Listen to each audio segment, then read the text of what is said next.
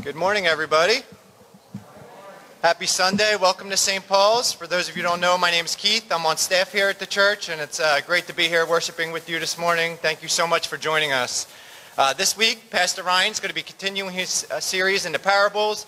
If you missed the first two, they were excellent, uh, according, uh, in my opinion, and uh, you should you could check them out if you weren't here for it. There's a, we have a podcast, we have a YouTube channel, we also have a Facebook page. So there's multiple ways you could see any of our past sermons and uh, get connected. And when you miss, you can always catch up. So uh, I encourage you to do that this morning. On your way in, everyone should have got a uh, connection card, possibly a Bible if you want. Uh, if not, uh, there's some in the back. There's also some on your table. We ask everyone every week to fill these out. Just a great way to let us know you were here worshiping with us. There's a place for uh, interest if you have any interest here at St. Paul's. And then on the back, there's a place for your prayers and your praises. And we have a prayer team who prays over these cards each and every week, and we love to be praying for you. So uh, be encouraged to do that. Then you can stick them in the offering basket on your way out this morning. If you are joining us on live stream, welcome to you as well. Uh, we have a virtual connection card in the comment section. Feel free to click on that, and you can uh, be able to fill one out as well and let us know how we could be praying for you this week. Well, in a few moments, we're going to be worshiping the Lord through music and, uh, like I said, through Pastor Ryan's sermon. But before we do that, we do just have a couple quick announcements. Our first announcement is this uh, third, Tuesday, October 19th, 645 is our monthly documentary uh, night. We did this uh, last month. It was great. We had a great discussion afterwards. And uh, this week, we're, we're going to be doing the same thing. It's going to be happening on the third Tuesday of every month.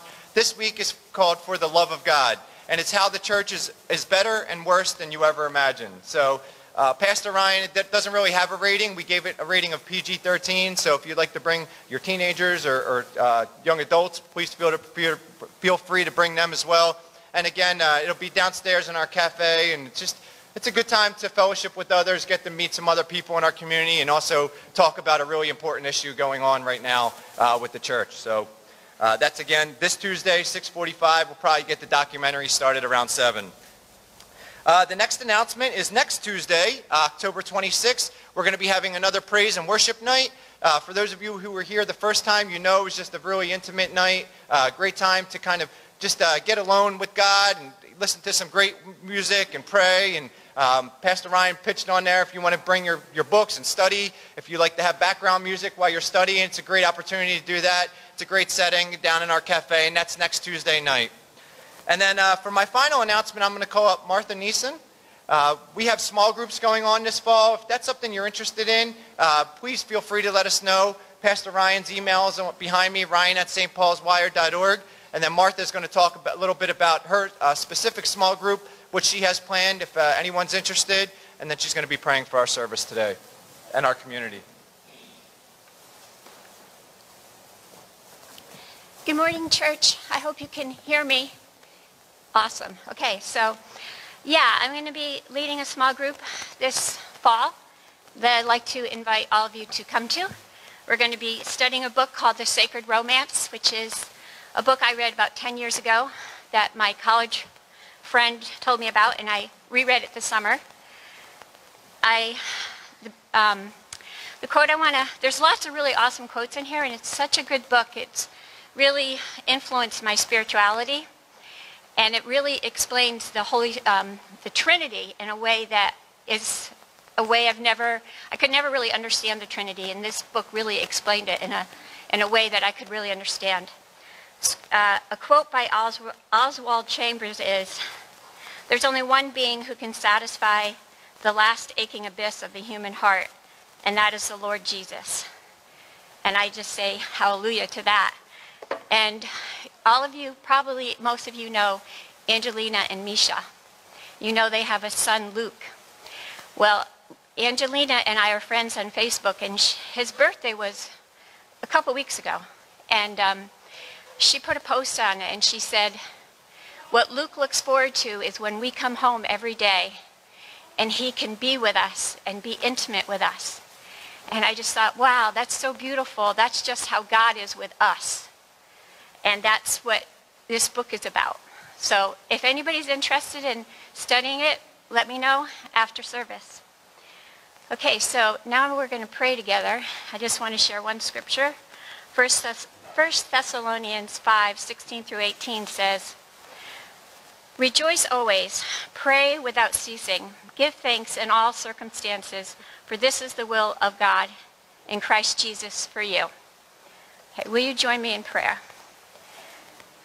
Dear Father in heaven, we praise your holy name. We love you so much, and we're so thankful that we belong to you, that we are your children, and that we are and that we belong to each other, Lord. Our hearts are full of joy because we belong to you.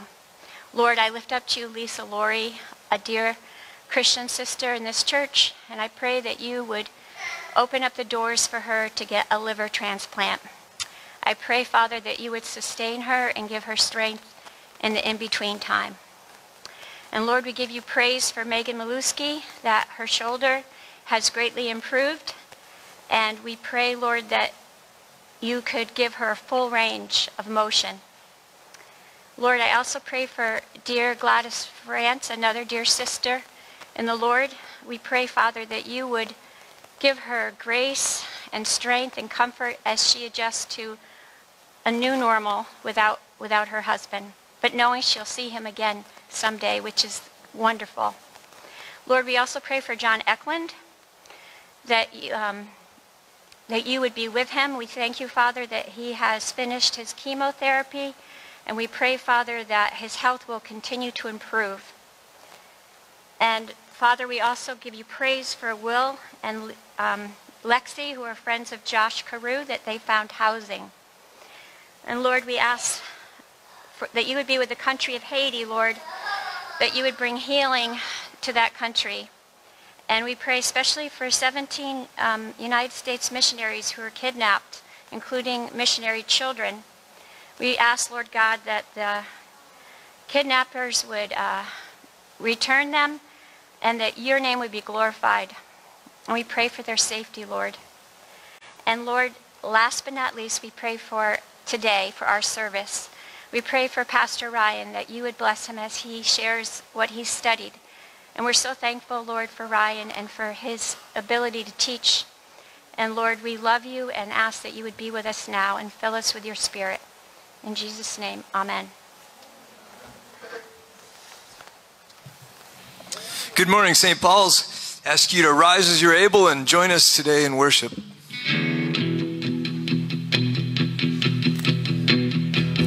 Great are you, Lord, mighty in strength. You are faithful, you'll ever be. We will praise you for all of our days. It's for your glory. We offer everything. Raise your all you nations. Shout to God, all creation. How awesome is the Lord Most High. We will praise you together now and forever. How awesome is the Lord Most High. You send us, God, we will go. You're the reason we want the world to know. We will trust you when you call our name. Where you lead us, we'll follow all the way. Raise your hands, all your nations. Shout to God, all creation. How awesome is the Lord Most High. We will praise you together now and forever. How awesome is the Lord Most High.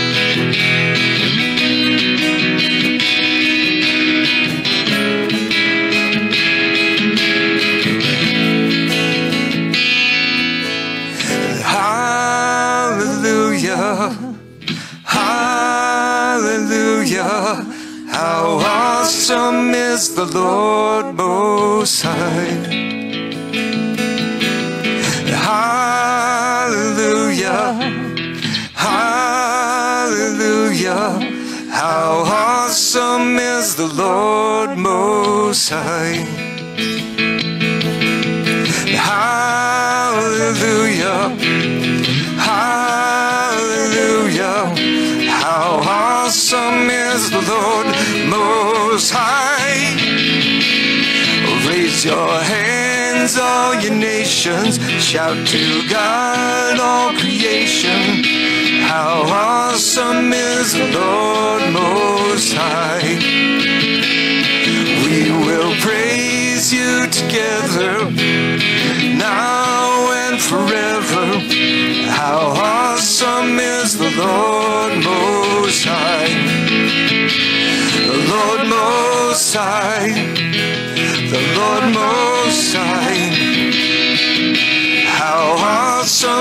the Lord Most High.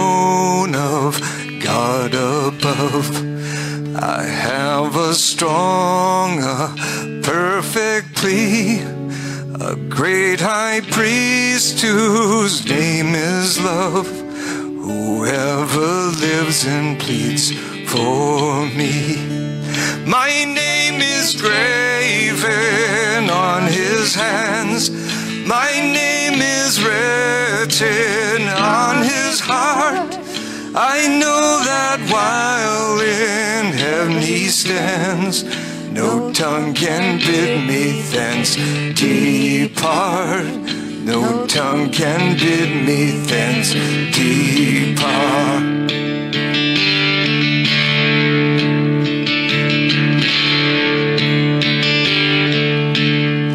When Satan tempts me to despair tells me of the guilt within, upward I look and see him there who made an end to all my sin. Because the sinless Savior died, my sinful soul is counted free. For God the just is satisfied to look on him and pardon me. To look on him and pardon me.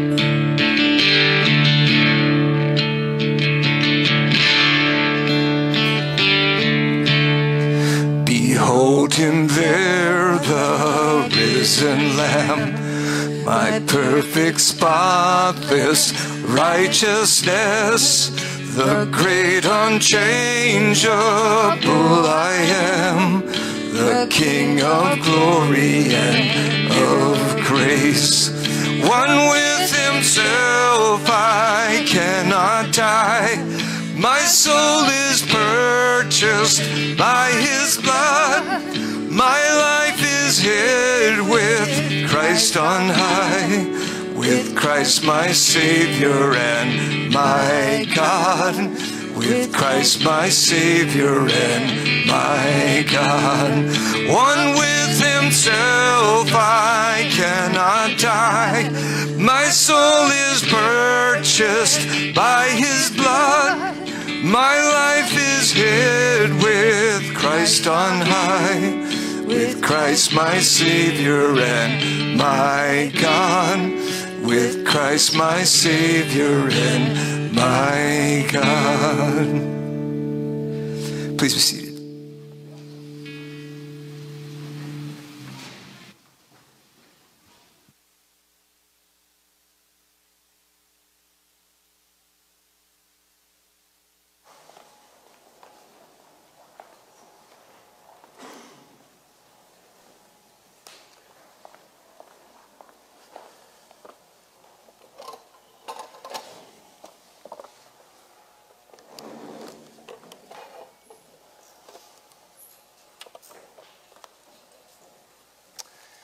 All right, good morning, everyone.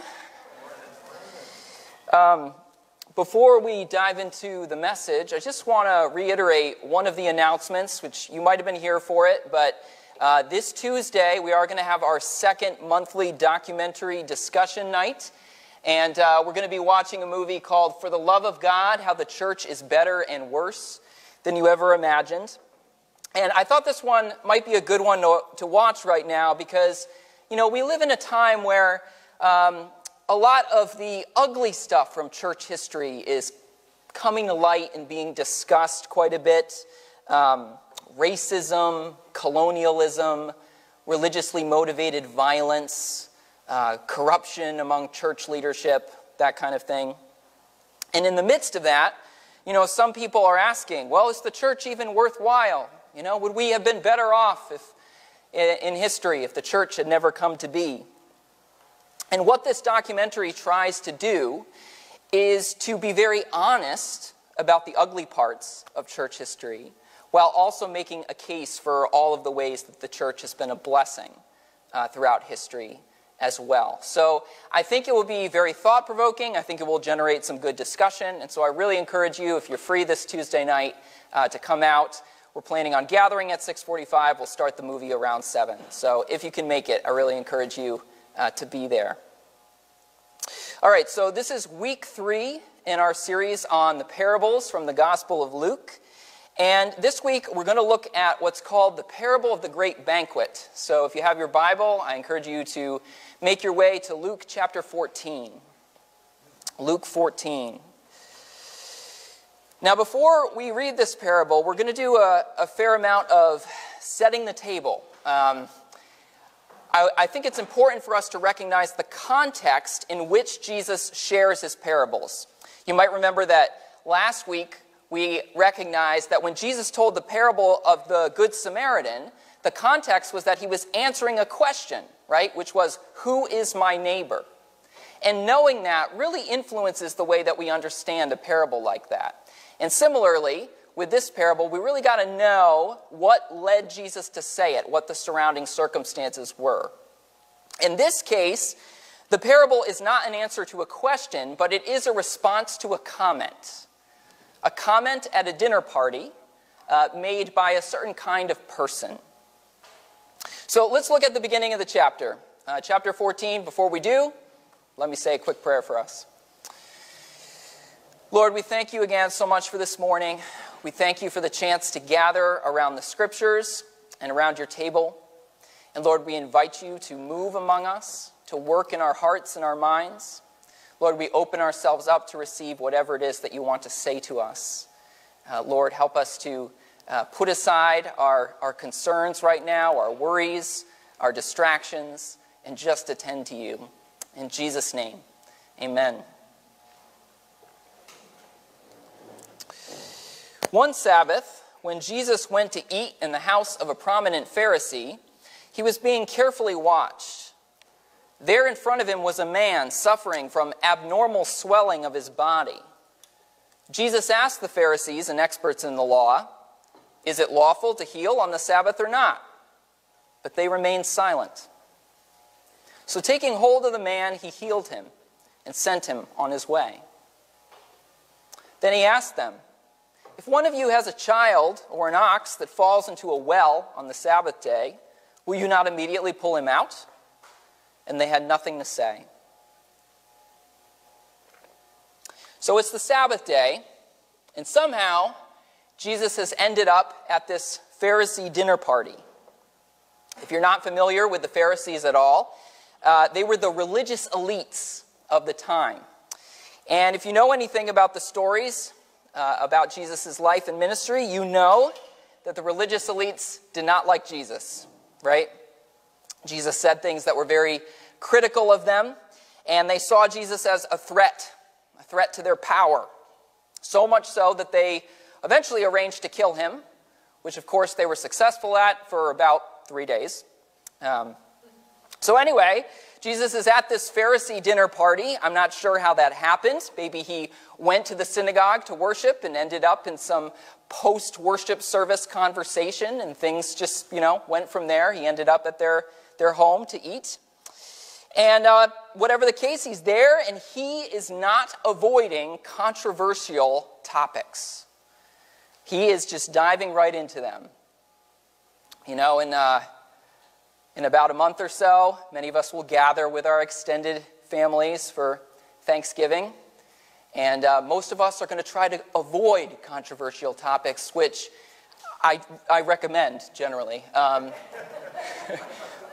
but, uh, but Jesus is not avoiding them. He is just going for it, diving right in. So, first, he notices uh, that one man at the gathering has a health condition. It's described as an abnormal swelling of the body. It was probably some kind of edema. And, you know, Jesus knows that he has the power to heal this man. But he also knows that the Pharisees have a policy, which is no healing on the Sabbath. Um, you know, the Torah said you should treat the Sabbath as a day of rest. And of course, Jesus agreed with that. But the Pharisees had constructed all these extra rules and prohibitions to make sure that nobody got anywhere close to doing anything resembling work on the Sabbath. And so Jesus did not appreciate or agree with their interpretation of Torah, and he sees in this moment an opportunity to confront their false interpretation. Jesus thought the Pharisees had missed the original intent of God's command. They had turned the Sabbath into a burden rather than a blessing because of all these rules. And so when Jesus saw this man's condition, he thought, oh, this is a good opportunity to make a statement here. So Jesus asks them, is it lawful to heal on the Sabbath or not? And we're told that they don't say anything. Now, why don't they say anything? Well, the text doesn't tell us, so I think we have to read be- between the lines a little bit.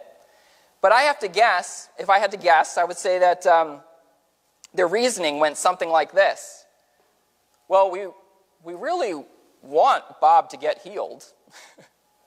and uh, this is an opportunity for Bob to get healed. And maybe if we say, oh, it's not lawful to heal on the Sabbath, well, then Bob's going to miss his chance to be healed. At the same time, they don't want to say, oh, it is lawful to heal on the Sabbath, because they've been saying for a long time that it's not. And so that would make them look inconsistent. And so they, they can't bring themselves to say anything. They're just silent. So Jesus heals the man. And then he asks another question. He says, If one of you has a child or an ox that falls into a well on the Sabbath day, will you not immediately pull it out? Now, Jesus is asking that question knowing that the Pharisees' answer would be yes. Of course. Of course, we would make an exception if our child or our ox was in danger, if they were suffering. We would make an exception. So, what Jesus is doing here is he is exposing both the hypocrisy of the Pharisees and their lack of compassion. Because if they would make an exception for their own child or their own ox, why wouldn't they make an exception for this man who's suffering at the dinner party or anybody else who might be suffering on the Sabbath? So Jesus is calling them out for focusing on the letter of the law rather than the spirit of the law. But that's not all. Okay, Jesus keeps confronting, he keeps challenging, he keeps going for the controversial topics. In the next verse, verse 7, we're told that Jesus notices that the Pharisees have all tried to get these spots of honor at the dinner table. Now, that's probably a little hard for us to, to uh, appreciate because when we gather for dinners, there aren't like specific seats that are special places of honor. But in those days, when you went to a dinner party, where you sat at the table had a lot of significance in representing how special you were, how, how honorable you were. And what, what Jesus does here is he says, you know, when you go to a party, you shouldn't be seeking the places of honor. That shouldn't be what's, what you're all about. You shouldn't be concerned, so wrapped up in your own glory and that sort of thing. And then he, he continues, and this time he, he talks directly to the host, which again, this is really bold, right? You go to a, din- a dinner party and now you're, you're confronting the host. And he says, when you host a dinner, you should invite the kind of people who are poor and incapable of ever returning the favor. They're described as the poor, the crippled, the lame, the blind. You shouldn't just be inviting these honor seeking religious elites who seek the places of, of honor at the table. You should be inviting the kind of people who could never repay you with another dinner party. So, the way that I would put this is it's kind of like Jesus has ended up at the cool kids' table, and rather than trying to fit in and laugh at all their jokes, he tells them that they're not as cool as they think they are, and that there should be some other kinds of people sitting at this table too. So, all of this is the context for the parable that we're about to hear the parable of the great banquet. Now, you may have noticed this whole time we haven't heard a single Pharisee say anything, right? No words from the Pharisees, just confrontation and challenge from Jesus. But we're about to hear one Pharisee say something. This is the comment that prompts the parable. When one of the Pharisees hears Jesus talk about the resurrection of the, of the righteous, Jesus says, if, if you really want to be blessed, you should invite the kinds of people that you wouldn't ordinarily invite to a party. And he says, at the resurrection of the righteous, you, you will be rewarded for doing this. When one of the Pharisees hears Jesus talk about the res- resurrection of the righteous, he says, Blessed is the one who will eat at the feast in the kingdom of God. In other words, oh yeah, that resurrection of the righteous, that is going to be so great when that happens. That moment at the end of history when the good people are rewarded, oh, that's going to be fantastic. And then Jesus tells the parable. All right, so let's look at it. Starting in verse 16. Jesus replied, a certain man was preparing a great banquet and invited many guests. At the time of the banquet, he sent his servant to tell those who had been invited, Come, for everything is now ready. But they all alike began to make excuses. The first said, I've just bought a field and I must go and see it. Please excuse me. Another said, I have just bought five yoke of oxen and I'm on my way to try them out. Please excuse me. Still another said, I just got married, so I can't come. The servant came back and reported this to his master. Then the owner of the house became angry and ordered his servant Go out quickly into the streets and alleys of the town and bring in the poor, the crippled, the blind, and the lame. Sir, the servant said, what you ordered has been done, but there's still room. Then the master told his servant, Go out to the roads and country lanes and compel them to come in, so that my house will be full. I tell you, not one of those who were invited will get a taste of my banquet. So clearly, this parable is a warning, right? A man says, Blessed is the one who will eat at the feast in the kingdom of God. And then Jesus responds by telling a parable about some people who miss out on a feast. So it's a warning. And of course, what Jesus is hinting at, and not so subtly, is that the people at this dinner party are in danger of missing out on the feast in the kingdom of God. Why are they in danger of missing out? Well, here's one thing to recognize. Okay, if the parable is any indication, they're not missing out because they haven't been invited. They have been invited. The reason they're missing out is because they won't come to the party. Right? Now, why won't they come? Well, in the parable, the people offer excuses for why they can't be there, right? So the first said, I have just bought a field and I must go and see it. Really? You must go and see it. What, is there a chance it's going to get up and walk away? you already bought it, it's yours. Can't you wait a little while before admiring your new property? Seems like not a very good excuse. And then the second said, I have just bought five yoke of oxen, and I'm on my way to try them out. Again, what kind of excuse is this? Right? The oxen have already been purchased. Obviously, somebody else is taking care of them. He doesn't say, I need to go and feed them. He says, I need to go try them out, right? Can't you wait a little longer to try them out? And then there's the third excuse I just got married, so I can't come. I think this one might be the best one. You know, you're s- settling into your, your new life, right? Uh, in those days, newlywed men were exempt from military service for a year. But they weren't exempt from social gatherings. So this excuse really isn't that great either. And these excuses are especially bad when we understand something about the way invitations worked in those days, which was that there were two parts to the invitation. The first invitation was when someone came out and said, Hey, there's going to be a banquet. You're going to come? And people would say, Yes or no.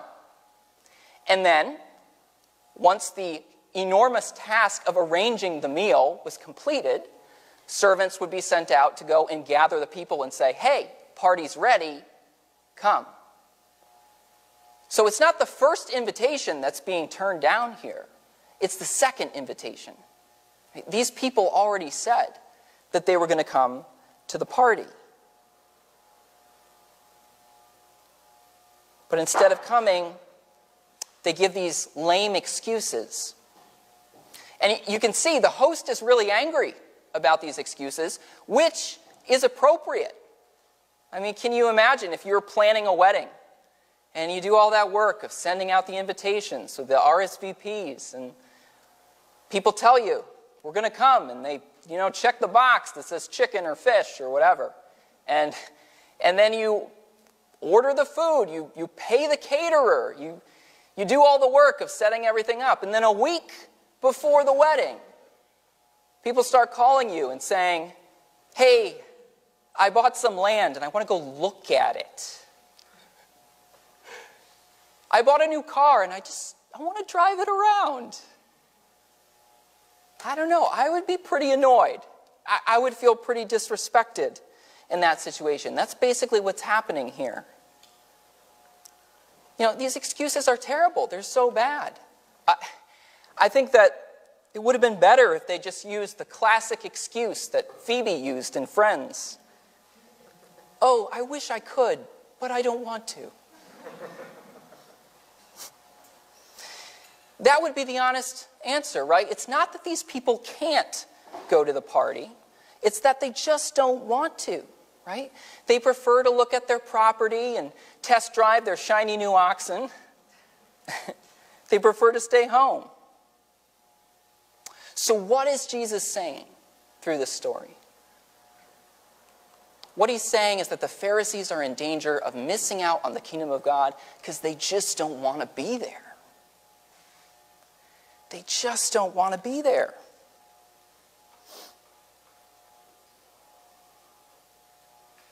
Now, you might object. You might say, well, hold on here. Of course they want to be there. Of course they do. I mean, that Pharisee, he did just say, Blessed is the one who will feast at the banquet in the kingdom of God, right?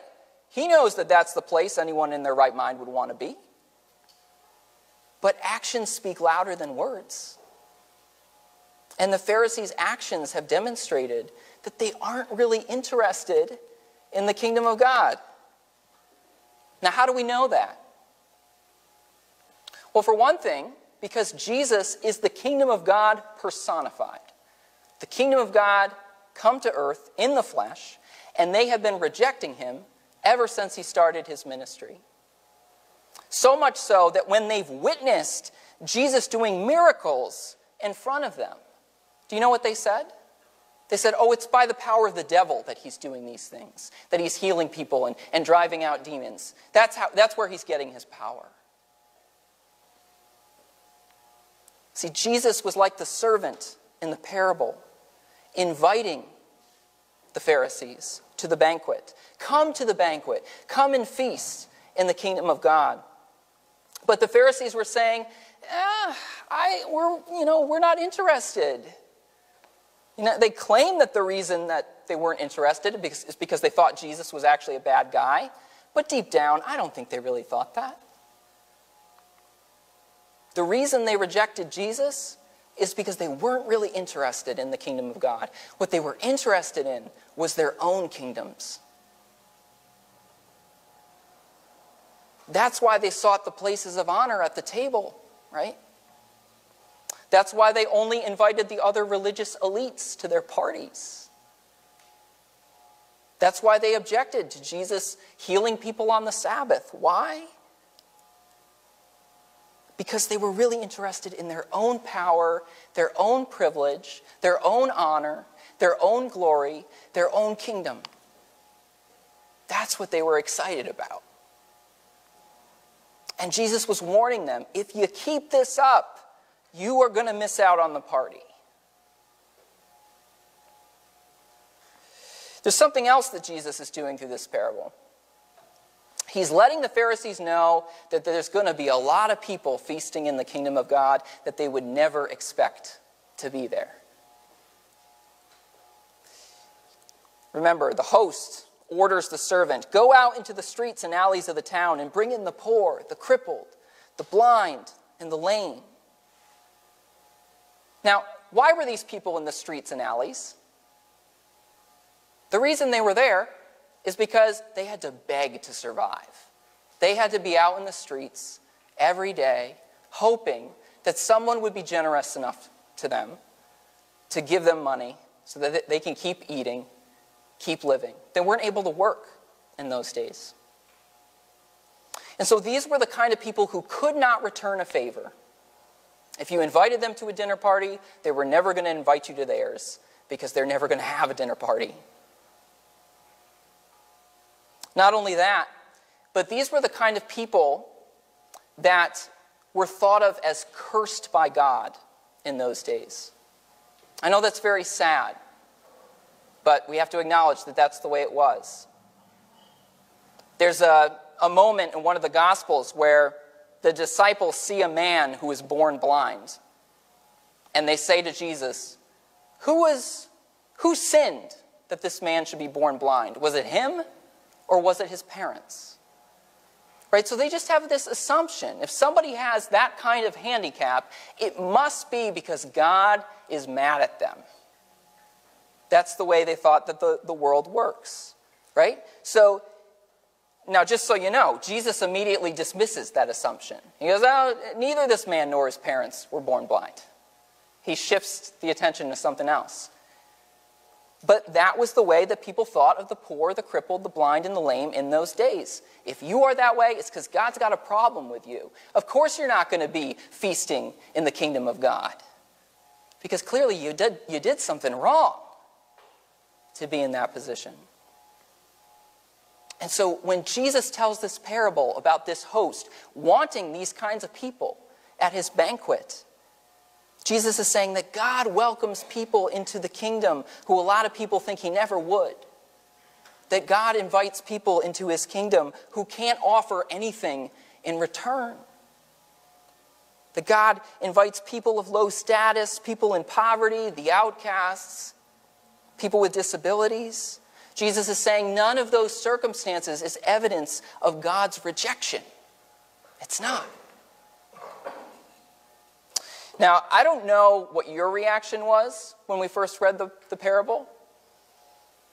I realized that it sounds a little bit harsh. You know, that ending, that ending is harsh, right? The host says, I tell you, not one of those who were invited will get a taste of my banquet. And when I, when I first started studying it this week, I got to the end there and I was like, ooh, ouch. This is a scary parable. But I've come to realize this parable is so much more about grace than it is harsh, right? Because the only people in the parable who are left out of the banquet are the people who don't want to be there. Right? What is more gracious than that? So, what does this parable mean for us? It was spoken to the Pharisees to warn them that they were in danger of missing out on the heavenly banquet. And so the question we have to ask ourselves is Am I making any of the same mistakes as the Pharisees? Now, the biggest mistake that they made was that when God in the flesh came to them, they rejected him, right? They chose their own kingdoms over God's kingdom. So the parable challenges us to ask the question how am I responding to Jesus? How am I responding to Jesus? Through Jesus, God invites us to his banquet, invites us into his kingdom, invites us into relationship with him. How do you respond to that invitation? I know that our circumstances are not quite like the Pharisees, right? We don't have Jesus in the flesh standing before us doing miracles and that sort of thing.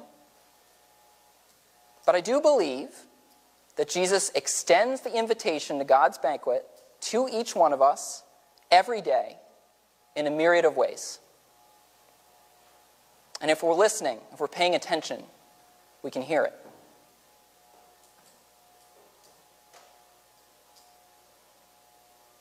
But so often, as that invitation comes to us, we end up making excuses. Excuses that often are just as lame as the people in the parable. You know, excuses why we can't be bothered to think about God or to pray or to participate in a church or to participate in any kind of ministry. We got other things to do. And I hear this parable saying, don't let your life go by without attending to God. Don't let your life go by without responding to Jesus. Don't let your life, your life go by without seeking the kingdom of God rather than your own kingdom, your own glory. When you sense God's invitation in your life, don't say, I wish I could, God, but I don't want to. Today, if you hear God's invitation, the invitation to come to his table and be part of his family, the invitation to turn from your own kingdom and turn toward his, say yes. Say yes. Don't distract yourself from that voice with another show on Netflix or another scroll of the social media feed. Take the time to, to hear from God, to get alone, to pray and say, Lord, I accept your invitation. Help me to live like a citizen of your kingdom. Help me to feast at your banquet. I'll close with a quote that I think fits well. This is from a book called Love Does by Bob Goff, um, which I would definitely recommend. He says, There is only one invitation it would kill me to refuse. Yet I'm tempted to turn it down all the time. I get the invitation every morning when I wake up to actually live a life of complete engagement, a life of whimsy, a life where love does. It, meaning the invitation, doesn't come in an envelope. It's ushered in by a sunrise, the sound of a bird, the smell of coffee drifting lazily from the kitchen. It's the invitation to actually live to fully participate in this amazing life for one more day. Nobody turns down an invitation to the White House, but I've seen plenty of people turn down an invitation to fully live. Turning down this invitation comes in a lot of flavors. It looks like numbing yourself, or distracting yourself, or seeing something really beautiful as normal. It can also look like refusing to forgive, or not being grateful, or getting wrapped around the axle with fear or envy I think every day God sends us an invitation to live. And sometimes we forget to show up or get head faked into thinking we haven't really been invited. But you see, we have been invited every day, all over again. Let's pray. Lord, we recognize today that you invite us to your table, you invite us into your family. And you do that through Jesus. And Lord, I pray that you would help each one of us not to make excuses, not to turn away from the invitation, but to receive it, to respond, and to start experiencing what, it, what it's like to live as citizens of your kingdom rather than just our own kingdoms. Lord, if there's any of us here uh, who have never responded to the invitation, Lord, I just pray that we would feel the tug on our hearts and that we would respond. Grant us understanding, Lord. Help us to see this parable the way you want us to see it. In Jesus' name, amen.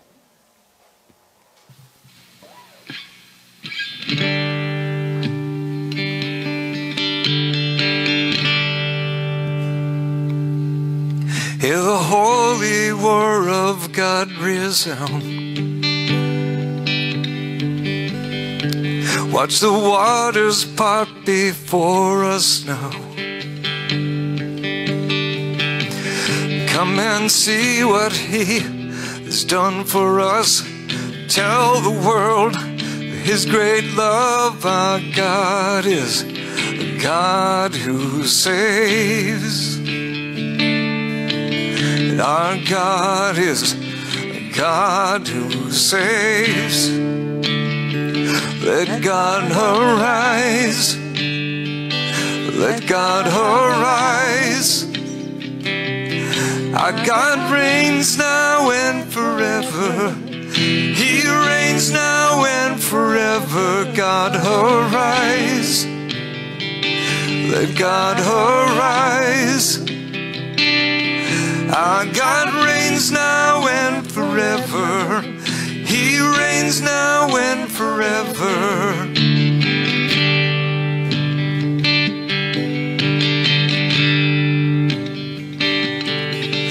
His enemies will run for sure. The church will stand, she will endure. He holds the keys of life. Our Lord, death has no sting, The final word. Our God is a God who saves. And our God is a God who saves. Let God arise. Let God arise. Our God reigns now and forever. He reigns now and forever. God arise. Let God arise. Our God reigns now and forever. He reigns now and forever.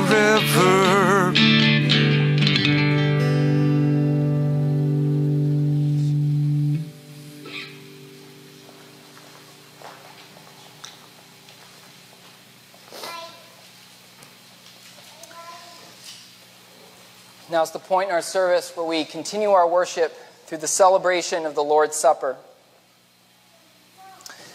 Here at St. Paul's, we invite you to participate in this. Um, and the only requirement is that you are saying yes to Jesus' invitation uh, to follow him, to believe in him. Uh, and, you know, it's perfect that we celebrate this right after talking about that parable. Uh, because one of the ways that we express that we want to come to God's banquet is by participating in this sacred act of remembrance. So I encourage you to, to think of it that way as you receive today.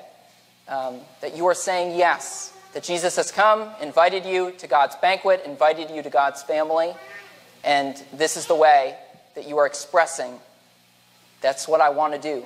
I don't want to be like the Pharisees who weren't interested in coming. I don't want to be the, like the Pharisees who were all fixated on building their own kingdoms rather than being part of God's kingdom. I want to come to the party. Um, because of COVID, we're doing individual communion cups. Uh, if you didn't receive one, on the way in and you'd like to participate, please raise your hand and Caleb can bring you one.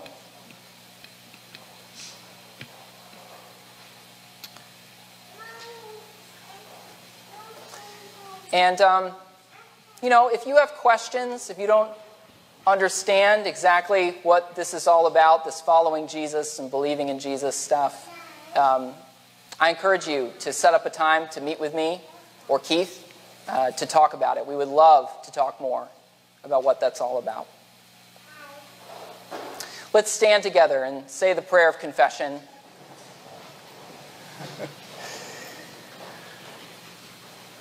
Most merciful God, we confess that we have sinned against you in thought, word, and deed, by what we have done and by what we have left undone. We have not loved you with our whole heart. We have not loved our neighbors as ourselves. We are truly sorry, and we humbly repent. For the sake of your Son, Jesus Christ, have mercy on us and forgive us, that we may delight in your will and walk in your ways to the glory of your name. Amen. The Lord Jesus, on the night that he was betrayed, took bread, and when he had given thanks, he broke it. And he said, This is my body given for you. Do this in remembrance of me. In the same way, after supper, he took the cup. And he said, This is the new covenant in my blood. Do this in remembrance of me. For as often as you eat this bread and you drink this cup, you declare the Lord's death until he comes again.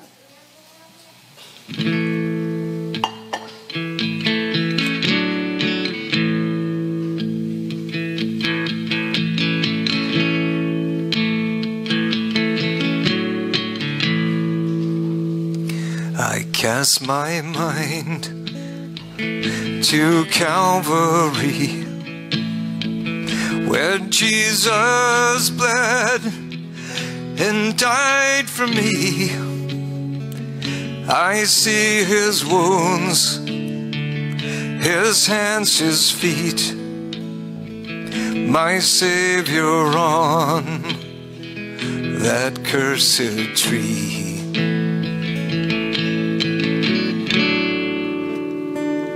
His body bound and drenched in tears. They laid him down in Joseph's tomb, the entrance sealed by heavy stone. Messiah still and all alone.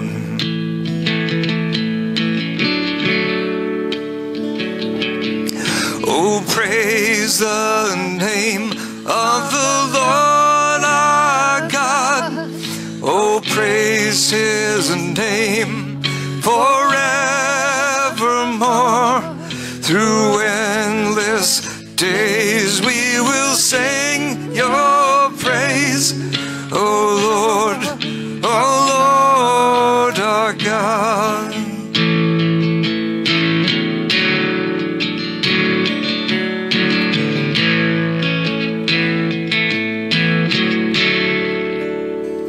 Then on the third, at break of dawn, the Son of Heaven rose again. O trampled death, where is your sting? The angels roar for Christ the King.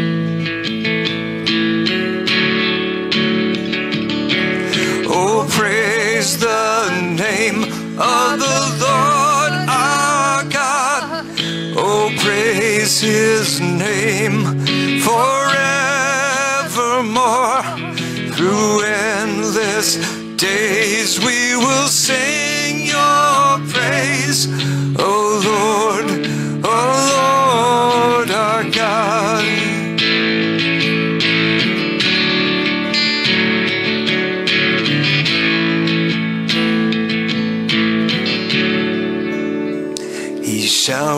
return in robes of white. The blazing sun shall pierce the night, and I will rise among the saints, my gaze transfixed on Jesus' face.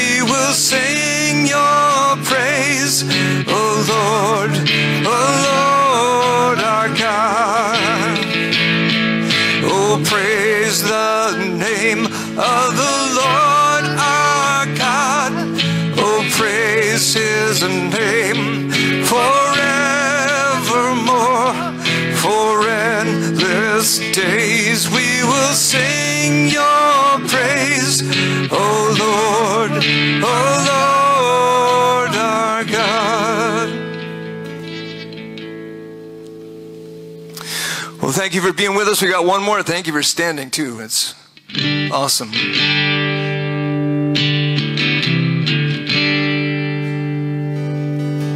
Amazing grace, how sweet the sound that saved a wretch like me. I once was lost, but now I'm found. Was blind, but now I see. 'Twas grace that taught my heart to fear, and grace my fears relieved. How precious did that grace appear the I first believed. My chains are gone, I've been set free. My God, my Savior has ransomed me. And like a flood, His mercy rains, unending love, amazing grace.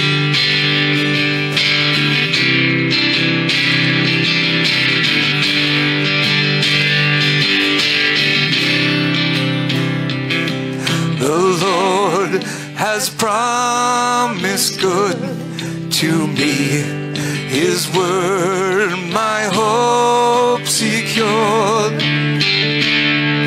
He will my shield and be as long as life endure. My chains are gone. I've been set free.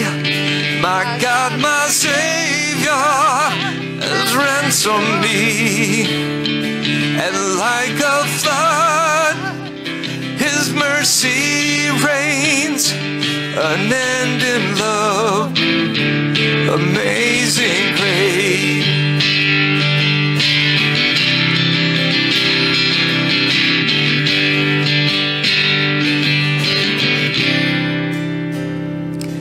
The earth shall soon dissolve like snow. The sun forbear to shine.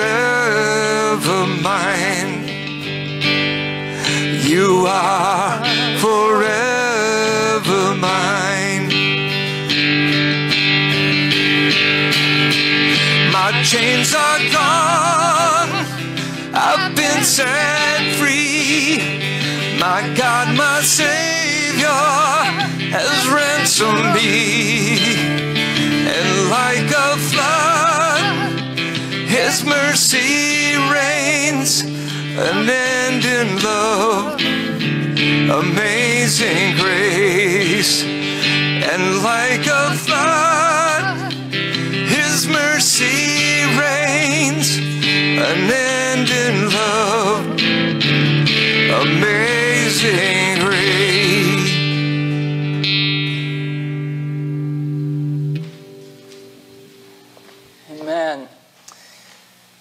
thank you again so much for being here today, and for those who were watching on live stream, thank you for watching. Um, we encourage you to stick around, hang out, uh, get to know some people. We still have uh, coffee and refreshments outside, and uh, it's outdoors because when you're outdoors, you're not required to wear the mask. So, encourage you to, to stay and, and talk for a while. Let's say our benediction. While our service here has now ended, our worship has not ended because our worship never ends. Now, go in peace to love and serve the Lord and to love and serve his people. Thanks be to God. Amen.